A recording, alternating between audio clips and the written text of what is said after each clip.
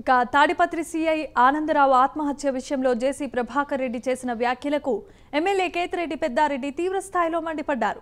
ఒక అధికారి చనిపోతే వాటిపైన కూడా రాజకీయం చేస్తున్న నువ్వు మనిషివేనా అంటూ ఆగ్రహాన్ని వ్యక్తం చేశారు. ఇష్టం వచ్చినట్లు ఇలా అసత్య ఆరోపణలు చేస్తే ఊరుకొనేదే లేదంటూ హెచ్చరించారు. నువ్వు బ్రతికితే మూడు నాలుగు సంవత్సరాలు బతుకుతావు.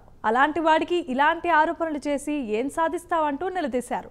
సిఐ ఆత్మహత్యపై పూర్తి విచారణ జరిపిస్తామని పెద్దారెడ్డి తెలిపారు. ఇక్కడికి వచ్చినప్పటి నుండి కూడా అతనికి మంచి పేరుంది ప్రజల్లో కూడా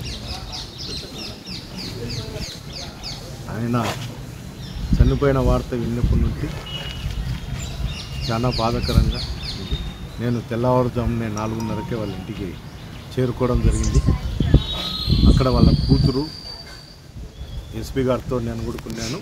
వాళ్ళ కూతురు చెప్పడం ఏమంటే మాకు ఫ్యామిలీ ప్రాబ్లం పది పదహైదు సంవత్సరాల ఉంటుంది మా కుటుంబంలో. మా అమ్మకు మా నాన్నకు పడదు. ఇప్పుడు కూడా ఇక్కడ ఉండేది కాదు. మా అమ్మ తిరుపతిలోనే ఉంటా ఉంటుంది అనేది ఆమె చెప్పడం జరిగింది.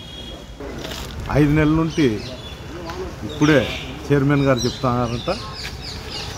ఐదు నెలల నుండి నేను సిఐ మీద ప్రెజర్ తీసుకొస్తా అని చెప్తాను.